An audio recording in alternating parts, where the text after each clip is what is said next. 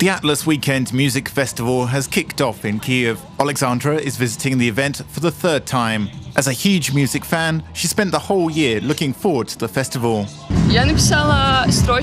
I wrote down a line for one of the songs of the band called Pyanitsa. Reality exists and it triumphs. For me, a full life is when I feel that I'm true to myself, and people around me are true to themselves as well. And this is the real triumph. It's amazing. Meanwhile, this panel was created by an organisation of people living with HIV.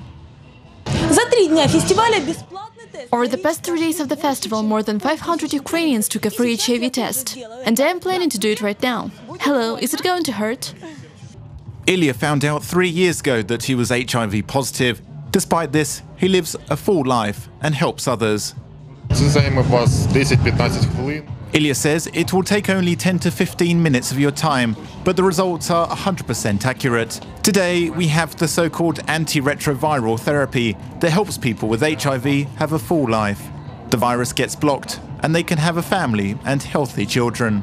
For Anatoly, a full life means lots of movement. The athlete represents an organization of active people with visual impairment. This is my second day here. Live music. Nothing gets better than this. When a person loses one of their senses, others sharpen, hearing, for example.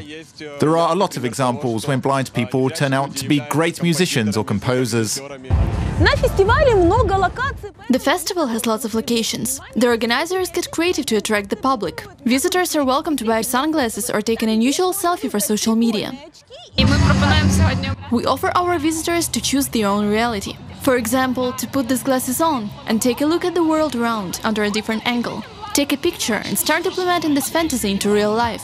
Health, sports, education, environmental protection, and the fight against corruption are just some of the sectors presented at the festival by NGOs. The youth need to join socially valuable initiatives and organisations, so we try to popularise this approach during these events. The organisers believe that such platforms are an excellent opportunity for dialogue. On the first day, the festival was visited by 154,000 people. Kiev is hosting the event for the fourth time.